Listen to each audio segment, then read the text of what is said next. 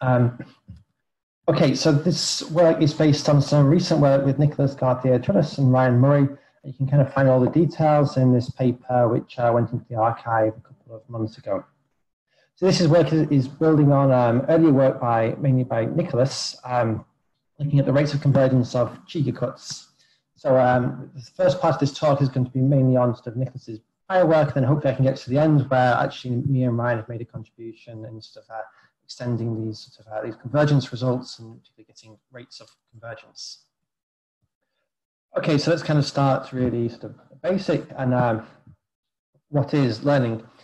So in learning, we're given a set of feature vectors. So xi, they live in some space x. So this could be a Euclidean space, for example. It could be on a manifold. Um, and then we're given a set of labels. So the labels could be real valued, they could be categorical valued, um, whatever the data set is. So a learning problem is to find a function u, which either goes from the whole space x onto your space of labels, or it goes from your, from your data sets onto the set of labels, depending on how you set the problem up. A supervised learning problem is where you have observations for every single feature vector. So, okay, so here, you know, each each xi, there exists a yi. Um, a clustering problem is the opposite. This is where you have no labels at all. And then the semi-supervised learning sort of lives in between where you have uh, labels for a, a subset. So the results on this talk are mainly in the clustering, uh, the clustering regime, um, but of course it depends, you know, it's, the, the framework is sort of um, would allow for supervised or semi-supervised as well. The idea behind clustering is you're trying to learn from the geometry of the data. Okay, so how do you represent the geometry of the data? We're going to do this through a graph. These graphs are slightly uh, slightly different setting to uh, Sophia's talk. You also use graphs, but okay, we're going to use the random geometric graph model rather than the sort of Erdos uh, uh, graphs. Okay, so for a graph, it's going to consist of uh, nodes and edges. So the nodes are formed from the feature vectors, and then the edges come with a weight, we call wij, and this somehow measures the similarity between the feature vectors. Okay, so you understand this as uh, wij is sort of close to zero, means that xi and xj are dissimilar. wij being very large means xi and xj are very similar. Okay, and then we define a, a graph by um, putting an edge between, between nodes and then weighting according to this um, according to this um, weight. Okay, and we, we kind of inherit a geometry from this graph.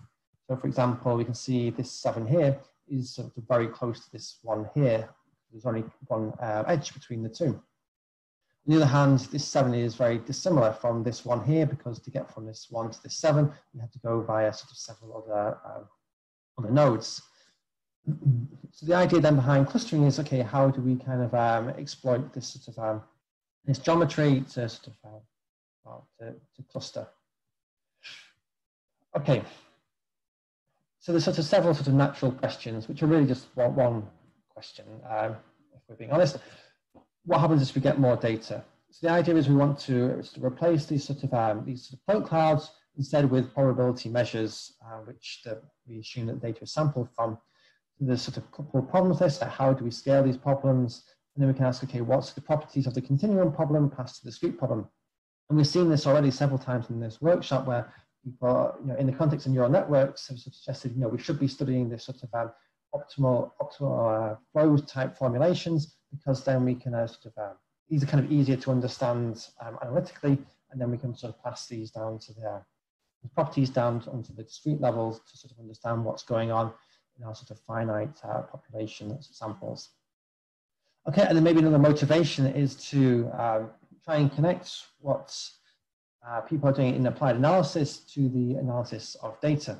There's many sort of very smart and very clever sort of results in applied analysis. The idea is can we just make our problem look like, um, look like their problems and then we can start to apply their results and their methods. Okay, so the the, probably the most important sort of uh, function on this talk is going to be the sort of uh, graph total variation. I'm going to start off by sort of um, telling you what it is. So the graph total variation is essentially an analog of the total variation, but now on a point cloud. So we take a function u, which is going to live on our, on our graph or on our point cloud xn. Okay, and then, so the normal total variation is essentially just an L1 norm of the derivative, because on a graph we don't have derivatives, it's a discrete space. Instead, we can replace derivatives with finite differences, and what we end up with is um, looking at uh, the difference uxi minus uxj weighted by the, graph weight between the two um, um, along that edge. Okay, so this gives us, you know, what we can kind of consider to be the analog of the, uh, variation. Okay, so if I was just interested in minimizing the graph variation or I didn't care about asymptotics, then of course it would be enough just to have this summation. I want to take n off to infinity, where n is the number of data points, so I have to sort of normalize in, in some way. So now I just leave this normalization as this mysterious constant uh, zn epsilon. Um, so n is the number of data points, epsilon is going to be a length scale on the graph, and I'll sort of uh, tell you more about this, this soon. Okay, so um, in this talk, we're interested in variational problems involving total variation.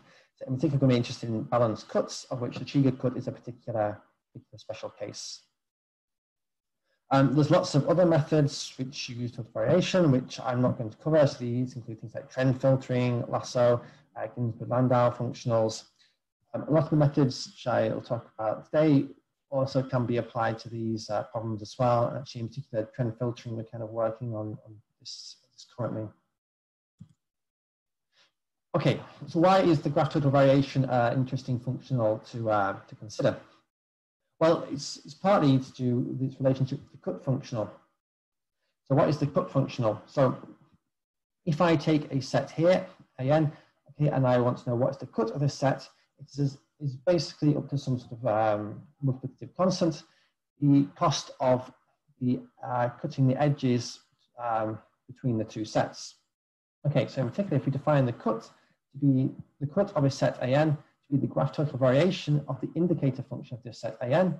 Okay, by definition, this uh, graph total variation is just given okay, as in the second line, line here. Okay, and now we notice that this um, inside the absolute value, this is only going to be positive if xi is in a difference in a different set to um, xj. Okay, so if xi is in is in an and xj is in an complement, okay, then then this is going to be positive. If xi and xj are both in an or both in an complement, this is clearly going to be zero. So this cut then is just, as I said before, up to some constant. The cost of uh, cutting the edges between the set and the set's complement. This is quite nice because it sort of gives us an intuitive measure on like how good the cut is. So here, if I'm going to make this cut here, I only have to cut two edges. So I'd say, okay, this is quite good. On the other hand, if I was to make a cut straight down here, um, vertical cut, then I'm going to have to cut many edges and you'll say, okay, this is quite a bad cut. Um, okay, so now let me talk about the, the scaling in the graph. So at a high level, all you need to know is that um, epsilon is going to control the connectivity radius of the graph. Okay, so let me say that this uh, the graph total variation is a non-local problem. Right, we're connecting um, you know nodes with other nodes, um, so clearly you know finite differences rather than derivatives. This is non-local.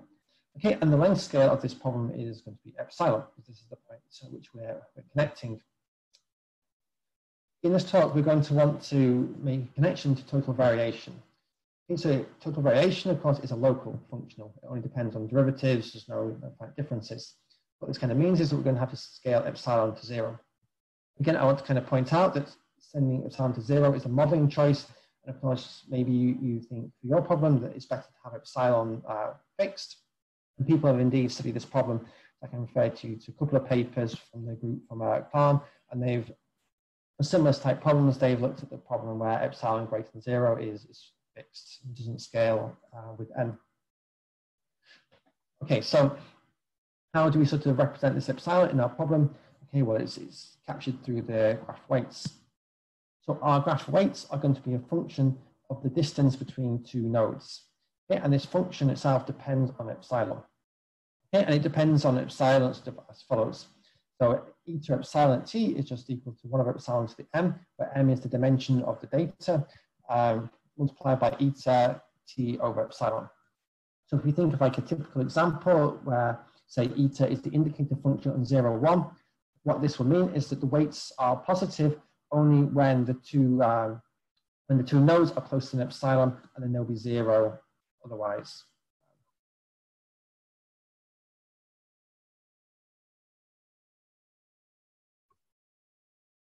Um, Matthew has frozen. Um, okay, so now let's kind of just do like a Matthew. Matthew, Matthew, the connection is breaking up a bit, at least as far as I can see. Um, ah. so just if you could just repeat, go back one slide and perhaps repeat what was on the at the end of the previous slide there. I think I, I got up into the last bullet point and then I think it started to get a little bit flaky. Okay, good. Am, am I back now? Am I, you can hear me now?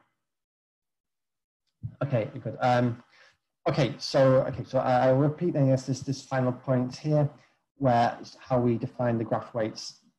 So the important thing is, since the graph weights depend on the difference uh, between on the distance between the two, uh, two feature vectors, and it's scaled by epsilon, and it's scaled by epsilon in such a way that if we think of eta as just being the indicator function over 0, 1, then these weights are positive only when um, the distance between xi and xj is less than epsilon and it's 0 otherwise. Um.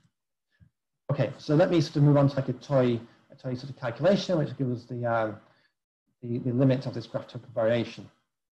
So let us assume that xi are IID from some probability measure mu, which has a continuous density rho. Um, okay, we'll take n off to infinity, and then we'll take this, take epsilon equal to some epsilon n, which is going to go to zero at the same time. And then to start with some u, which is sort of you know, continuously differentiable. Okay, so by definition, the graph total variation is equal to the following. So this is exactly the same as definition. All I've done is I've substituted in what the normalization constant was. This was you know, n squared epsilon n epsilon n. And then I've substituted in what the weights are, so the weights of 1 over epsilon to the m times eta epsilon minus xj over epsilon. Okay, so formally I can kind of replace this double summation uh, with an integral with respect to the data generating measure and leave everything else alone. Okay, then if I do a change of coordinates, let z be equal to x minus y over epsilon n. Okay, you know, this is, we can all kind of see this is, I get this sort of straight away. Okay, now if I can assume my epsilon is very small, and let's say rho is continuous, then this rho of y plus epsilon nz is approximately equal to rho of y. So now I get uh, rho squared um, y here. Okay, and then similarly we can kind of see that this difference here is approximately equal to a derivative in the direction of z. So again, very formally, this is kind of what we kind of expect in the limit make one extra step, I'm going to play a little trick and use the isotropy of eta to pull out the z integral as a constant. So what I get then is an integral over y multiplied by some constant. And this, of course, is exactly, you know, without this rho here, this would be the total variation. It's the L1 norm of the derivative. Um, but now I have this sort of rho, weighting rho here. This is a weighted total variation space.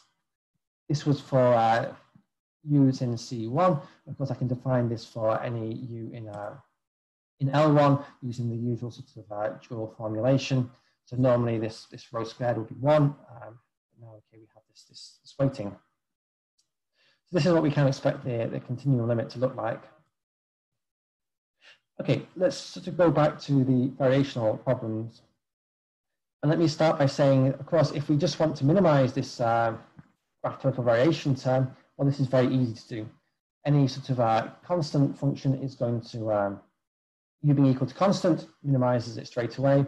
And again, if I want to minimize the cut functional, well, the empty sets minimizes this, or the whole sets minimizes this. This is kind of not interesting from a variational point of view, but of course, you know, this is not what people do. People sort of modify it to get non-trivial minimizers. There's two sort of possible ways to do this. So one is to sort of add on you know, a data fidelity term or know, Aretha will probably call this the negative log likelihood. Um, okay, and consider sort of uh, minimization problems like this.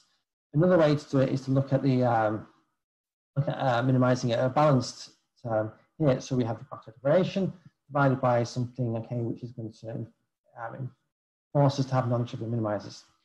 It's the second type of problem that we're going to consider in this, in this talk. Of course, you know, the, the first form itself is um, interesting in its own, own right. Uh, right. so I've kind of said we want to look at the large data limits of um, what's going to happen to these variational problems on, on a graph. Um, but the problem we have is that we've only defined our discrete problem on the point cloud. So it's not extended on the whole domain, but only on the point cloud. But in the limits, of course, we're, we're comparing something with a density, so this is going to be defined on the whole space. The question is, how can we compare this discrete, um, this discrete function to a continuum function? So this means we kind of need um, some sort of discrete continuum convergence. And to do this is to not think of a, a function on its own, but think, think of it as a function coupled with a measure. Okay, so in our case here, you know, we have our discrete function un, which lives on a discrete set, and then we're going to have an empirical measure mu n, okay, which lives on you know, the whole space. So mu, un is a, a probability measure, okay, and un is only defined with respect to mu n. Okay, and then we have our continuum function u and our continuum measure mu. Okay, and this now means that we can think of our functions as being in the same space. We think of functions and measures, so then this lives in like a, you know, a much bigger space, which we call the TLP space. This is a set of functions and measures, and our discrete and continuum minimizers are both elements of this uh, TLP space. Of course, this TLP space needs a topology, and one way to put a, a metric on it is to use this sort of optimal transport sort of idea, where we sort of um, look at minimizing this um, some sort of penalty between, uh, okay, so what do I do here? So I, first of all, I, I take a map T, which sort of um, can be seen as being rearranging mu into nu, where I want to compare sort of, you know, mu and v nu. And then I compare how u and v compose to t in the LP distance. Of course, I don't want my t to be too degenerate, so I can I also add a penalization on the map t. This is essentially just the optimal transport distance. So actually, this is exactly the optimal transport distance on the graphs of the functions. So I look at the theory as you know, why this is a metric and the existence of these t's, etc., follows directly from the optimal transport theory. This distance never really appears in the, in the sort of results I'm going to show you because it can kind of be hidden away a sort of simplification by the following proposition. So we so Nicholas Gauthier Trinison down in Slepčev, they sort of characterized this convergence and they showed the following, that this, um, you have a sequence UN, UN converging to mu, mu in the TLP topology. Well, this is true if and only if UN is converging weak star to mu, and there exists a sequence of transport maps, okay, pushing towards mu1 to mu such that Tn is converging to density in LP, and most importantly, UN composed of Tn is converging to U in the LP distance. Essentially what this means is that we can kind of forget about this sort of you know, complicated metric, and we can just look at finding uh, a transport map Tn, okay, with the property that U composite Tn is converging to U in the LP distance. Of course, in our case, this, this mu n is the empirical measure, and this is converging to mu uh, with probability one, so we can kind of forget about this. Okay, so with this sort of topology in hand, another result by Nicholas and Dejan was to establish that the graph total variation is converging to the total variation in the sense of gamma convergence. So I don't really have time to, to explain what gamma convergence is, but essentially it's a way of linking variational problems. Um, okay, and there's sort of some extensions. Let me, you know, as this, this workshop is, you know, at Bath, there's a paper by Muller and Penrose that kind of um, improve the, the scaling in the regime where m is equal to 2 by reducing a logarithmic factor on the scaling of epsilon. Um, and the ideas behind sort of this sort of discrete uh, continuum actually really came from uh, sort of this paper by Alberti and Bellettini, who look at sort of non-local continuum operators. Um, and then the idea is just to go from discrete to uh, continuum non-local. Let me keep going because I guess uh, I want to be sort of finishing the next sort of 15 minutes or so. Okay, so let's go back to uh, sort of graph cuts. So we've already seen the definition um, of the cut, it's just the graph variation of the indicator function. Um, you know, I said before that this is trivial to minimize.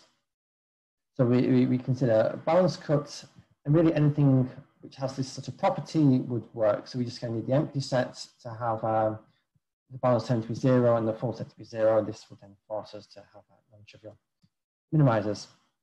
So of course, there's, there's lots of different ways to do this. And again, it's a modeling choice of how you want to choose your BM in the GGA framework, you would choose the balance term to be equal to the minimum of the essentially the empirical mass of A um, and the empirical mass of a complement. Okay, so un here is the empirical measure. So mu n of A, you just count the number of uh, data points in the set A and then you normalize to by n. It's just a fraction of points, right, that, that are in the set A or the fraction of points that are in the set A complement. Okay, the Cheeger constant then is the minimizer of this sort of um, graph total variation uh, applied to the indicator functions over A and this balance term. And then the Cheeger cut is the minimizer of this, uh, of this sort of uh, energy. Okay, so what we care about now is how is the Cheeger constant and the Cheeger cut, how are they behaving? So what happens as n goes off to infinity? Are they converging to something? Is the you know, a continuum Cheeger problem? Okay, so the, um, okay, so let, let me to make a connection with spectral clustering.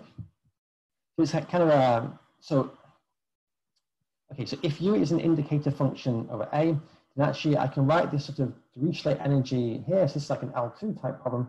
So energy is just going to be uh, proportional to the graph total variation. Um, okay, and similar sort of the, the denominator, this sort of L2 um, distance between U and its average is actually going to be kind of proportional to um, this balance term here. Okay, so this is true when it uses an indicator function. It's not true in for sort of any function. Essentially, you know, we, I mean, this is true because if we square zero or one, we end up with zero or one. So the L2, L1 kind of makes no difference. Um, but this term here now is probably quite familiar to some people.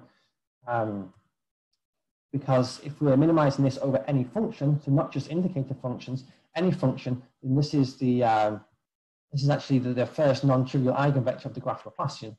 So if we were to solve this problem, to define the u which minimizes this, we'd end up with the first um, non-trivial eigenvalue, and then this, of course, then kind of is in the realm of, spectral clustering. So in some sense, Cheeger, Cheeger cut is a sort of constrained spectral clustering um, method. Right, so let me show you this, this theorem now, again by Nicholas Dejan and some of our other collaborators. So first of all, let me define this C. So this is going to be the, uh, cont the continuum Cheeger constant. So this is the minimizer over all sets in A of the total variation um, divided by the balance term. And now, of course, the balance term depends on the, um, on the data generating measure mu and not on the, uh, the empirical measure. Again, A star is going to be our continuum Cheeger cut, and this is the minimizer of the energy. So what Nicholas and Dejan showed is that the Cheeger constant is going to converge to the continuum Cheeger constant, and that these sets here are going to converge to the um, continuum Cheeger cut. And their sort of result really kind of follows by the sort of stability properties of gamma convergence. But they have no rate. Okay, so the rest of this talk now is going to be on how to get sort of rates of convergence for this Cheeger cut to the continuum Cheeger cut and the discrete uh, and the discrete uh, Cheeger constants to the continuum Cheeger constants. Okay, so let me make the following assumptions. M is going to be d-dimensional manifold, and mu is going to be the probability measure with uniform density on the manifold. Our first sort of comparison is going to be between the graph total variation and its expectation. So now we can, so the graph total variation is a double summation. So this is a U statistic of order two. So what's a U statistic? Well, a U statistic of order one is just a sum of a, uh, a single sum of some random variables, so be some sum of f of xi. U statistic of order two is a double summation over some function of xi and xj. Statistic of order three is a triple summation of, okay, you, you see what I'm getting at. I mean, it's kind of very well known that U statistics of order one have like Bernstein inequalities, and this is sort of true for higher order U statistics as well. So in particular, we can we can still make a bound between the graph total variation and its expected value, which is just this non-local total variation. Okay, and we can say this is less than some zeta with high probability. So I'm kind of hiding the high probability bound here. So this, of course, depends on zeta. So if zeta is um, zeta is too small, right, then actually this isn't with, with high probability. So it's kind of like a there's a, there's a kind of a trade-off here. Okay, then there's kind of like a, a direct computation that's for any sort of U bounded variation, we can bound the non-local total variation by the, by the local total variation up to some uh, error term of epsilon squared. Okay, and then Hoeffding's inequality will be used for the um, for the balance term, and this essentially says that the empirical measure is close to the, the continuum measure. Again, this is less than equal to t with high probability. Again, it's with high probability depends on, on t. So how do we get an upper bound? Well, this is quite straightforward. So we have the, okay, so we have the discrete Cheeger cut here. This now can be bounded by any, so I just need a candidate to, to plug into the, the kind of the Cheeger energy. So as my candidate, I'll just use the, the continuum optimizer. So I use the indicator of, of A star, where A star solves the continuum problem. This, of course, is going to be greater than the Cheeger cut. Okay, now I can start using my bounds. So I have uh, the graph total variation is bounded by the non-local total variation up to an error. I can get rid of these empirical measures and put the true measures up to some error of t. Then I replace the non-local total variation by the, by the continuum total by this local total variation, and again I get an extra error of epsilon squared. Then I notice that this term here, so I just wait for the motorbike to go past. Um, this, this term here is just the, the Cheeger constant for the continuum problem, Okay, so I get uh, an easy upper bound. Okay, what about the lower bound? So this now is going to be harder, right? Because if I want to kind of repeat this calculation here, well, I'd start off with my continuum Cheeger cut here, and then I'd want a candidate minimizer for the continuum cut. So I kind of, kind of want to build my, my uh, candidate for the continuum Cheeger cut from the discrete, G, from the discrete Cheeger cut. The problem is my discrete cut is only defined on the point cloud. It's not defined everywhere. So what I'm going to need to do is to, is to somehow map my uh, discrete Cheeger cut onto, like onto the whole manifold. So I do this in two steps. So the first step is I take this transport map at Tn. So this is a transport map between mu n and almost the measure that I want. Um, so I'll come back to this mu n tilde shortly. But this mu n tilde is going to be a measure which is defined on the whole, the whole manifold. Um, okay, so what this, this transform about Tn, you can kind of understand this is just a partitioning of the, of the manifold. So what this means is sort of, you know, every partition is associated with one point on the, uh, on, on the point clouds. So when I, do, so for any function u, I compose as my Tn, and this u composed with Tn is now defined on the whole manifold. The problem is, is that this u composed with Tn is now a piecewise constant um, uh, interpolation, and I'm going to need more smoothness. So what we do is we introduce this mollifier lambda a, okay, which is going to smooth things out on the length scale of a. Essentially, this means that you know, after I sort of I take my sort of discrete function, I put it into a continuous function, I smooth it, it means I have a nice sort of continuous function on, on my manifold. This allows me to kind of control the regularity. So I won't talk too much about this mu n tilde, but actually this mu n tilde is just kind of a, an artificial measure which we kind of use to get better rates essentially. Um, one can ignore this and just set, you know, so, so theta is my error between my mu and tilde and my mu. If one just wants to set theta to be equal to zero, you can do this. You just get like a worse rate if in two dimensions. Um, okay, so this sort of map IA, which is my composition with Tn with my modification, this essentially is behaving like a, mollifier would. So, you know, we get the usual sort of bound that's I look at the CK norm, well, this is you know, the L infinity norm over 8 to the minus, so over 8 to the K. And again, I can sort of control my L1 dis, dis, uh, difference between my you know, U composite Tn and my sort of U composite Tn after modification by total variation by some A. okay, now I can sort of make, a, again, a direct computation and say with high probability, you can bound the continuum total variation by of this u after this sort of modification by the graph total variation plus some sort of error, okay, which depends on how much we're modifying, by, on how close our, our map Tn is to the, the identity, by our length scale epsilon, by this theta, which depends on how, how much I had to approximate this discrete measure by with the, the continuum measure, okay, and then yeah, and so on. My next sort of uh, tool is going to be to relax the, the the, continuum Cheeger problem to being over functions rather than over sets. So if u is an indicator function, then this, uh, okay, then we know that the TV of the indicator function is, is, is what uh, is the cut functional.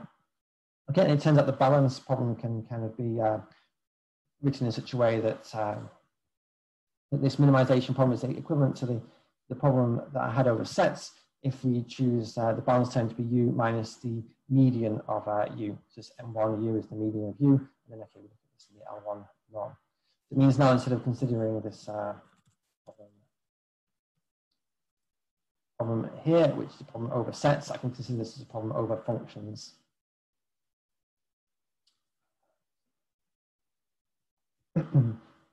okay, so this is now, I've got enough tools now to build my, my candidates um, minimizer.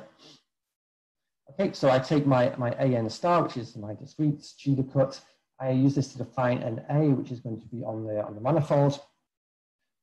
I will use the following result that the L1 norm between okay, this sort of interpolation modification map and the median is close to being the um, to the balance term okay, in terms of its, its that this distance is bounded by some some um, constant times a times the graph total variation. This essentially follows that because um, this, this map here is close to being zero or one. So when I look at the medians, the median is going to be close to being sort of zero or one. Well, it is what it is. Okay, so now anyway, at least I have a candidate uh, minimizer. So, okay, so then I can bound my Cheeger cut by this, uh, this candidate, okay, which is this sort of you know, interpolation map um, of, of this function. And I can use my sort of bounds. So I can bound the continuum map by the graph total variation up to some error. Okay, the, the denominator gets bounded by some error. And if I go through this, um, I get the end the, the Cheeger cut plus uh, the continuum plus, plus this, this error. Okay, and this is kind of summarized in this following theorem. So now, okay, I make the sort of high probability bounds explicit. I get the sort of the upper bound and the, and the lower bound um, between the sort of streets to the continuum. Now, the more interesting uh, problem is can we get a rate of convergence for the Cheeger cuts? Okay, and the answer to this is going to be yes as well. So now let me just make a connection with isoperimetric inequalities. So the isoperimetric problem is given some volume V to find the set with the volume, with that volume of the smallest perimeter. Okay, so this is um, sort of, you know, it, it's kind of easy to write this function down um, in Euclidean spaces because IV is just going to be the surface area of the ball of volume V. In manifolds, of course, this is, this is not, not true. Um, it turns out that you can write the Cheeger problem as just being the infimum of all volumes between 0 and 1 isoperimetric function divided by the balance term, which is now just v1 minus v. Okay, so this IV, right, is the smallest possible perimeter, okay, of, uh, of sets with a given volume v. Okay, and you know you can kind of derive these sort of bounds, bounds here, which is um, which kind of you know give you a, um, I guess you know, a, a, lower bound on the perimeter of, of uh, any set of a given volume. Okay, so what we're going to ask for is a quantitative version of this. So a quantitative version would be, if you give me a set of a given volume, and you tell me that this, uh, the perimeter of this set is close to the optimal value, so say within delta, then the question would be is how close is A, a to a minimizer of, um, well, of, of the uh, isoperimetric equality. So can we characterize so in a Euclidean space, this would be asking how close is A to a ball. In a, a manifold, this will just be how close is A to um, a minimizer of this problem here. So this problem was solved by Fusco, Maggini, and Pratelli. Okay, and so they did this in Euclidean spaces. In Euclidean spaces, we, the minimizers are, are um, balls B. So their result essentially was to say that um, if you're given a set, a set um, A with given volume V. And this, um, and the perimeter of this set A is close to, well, okay, so actually they just, sorry, let me restate this again. So they have, they have a bound essentially between the sets, how close the set A is to a minimizer of the isoperimetric inequality. And this distance is measured in terms of the Fraenkel asymmetry. So this is some function that I got here, alpha A. This measures the volume of um, set A to a minimizer of the isoperimetric inequality, um, and it takes the, you know, the best possible the best possible ball. So essentially, you look at balls until, until they're sort of over, so they're overlapping A in the optimal sort of uh, sense, and then this can be bounded by the difference in perimeters between A and the perimeter of a, of a ball.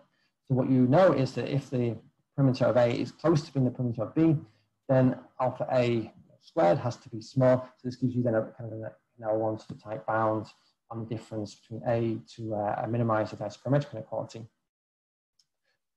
This was extended um, okay, by Chodosh, Engelstein, and Spolaor uh, in uh, just last year actually to um, general manifolds.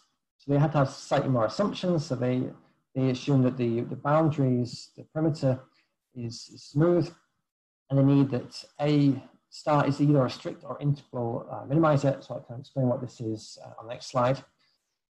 But okay, if we're given these assumptions on the minimizer, then they can essentially get the same results. So, so again, they get the, the perimeter, the difference in perimeters. Um, okay, sorry, so this is a typo. This B here should be, uh, be A star. You can say that the perimeter, the perimeter of A is close to being the, the perimeter of the optimal uh, choice, then then the difference between difference of A to uh, a solution of the isoperimetric inequality also has to be small in terms of this alpha here. So this is the result we'll kind of use to get convergence of the Cheeger cuts. So let me quickly explain what uh, strict integral minimizers are. The strict minimizer means that any perturbation of the minimizer is no longer a minimizer. In particular, it kind of means that the um, we kind of are coercive around the minimizers. The, the, minimum of the isoperimetric inequality is essentially, you know, behaves quadratically around minimizers. Um, I'm trying to go a little bit quicker so I can finish in the next couple of minutes. Another sort of class, uh, which is kind of interesting, is, is where we kind of allow for um, set of minimizers to be parameterized. So the example here would be on a torus. So you can see here now this is a, minimizer. Of course, if I move this around, around the torus, then of course I'm still going to be a minimizer, and this is still fine. So what this, so what this sort of this condition here is essentially saying is that there exists some sort of a diffeomorphism along the set of uh, minimizers, and as long as this diffeomorphism is kind of you know well enough behaved, then then this is also also fine. So with these sort of conditions, so okay, so we we assume here that essentially the, the conditions to apply the previous theorem hold. We also have to kind of assume some sort of uh, strong convexity around minimizers in terms of the volume. Um, then we can get a high probability bounds between the, the minimizer of the discrete Cheeger energy and the minimizer of the continuum Cheeger uh, problem. This is kind of given in terms of uh, sort of a one norm here. So this indicator function of an star composed of Tn. Okay, this is our, uh, our discrete problem raised to the continuum level. And then this A star here is the indicator function of the continuum cut. This is going to be bounded by some sort of error, okay, which is you know, essentially given in this kind of horrible form, but it only kind of depends on your choice of length scales, you know, how much you sort of, the approximation you had to make in your transport map and you know, something essentially controls the probability. So that kind of brings us to the end of my talk, just as kind of a final sort of uh, advertisement. So Philip mentioned this earlier this week. Um, I'm part of, I'm one of the organizers for this um, One World seminar series on the mathematics of machine learning. So if after this workshop you're still kind of hungry for talks on uh, theoretical machine learning, I'd really encourage you to sort of check out this seminar. We have a web page and we have a mailing list which you can sign up to. Um, and this is every Wednesday it's at five o'clock. So with that, I will finish my talk and thank you very much.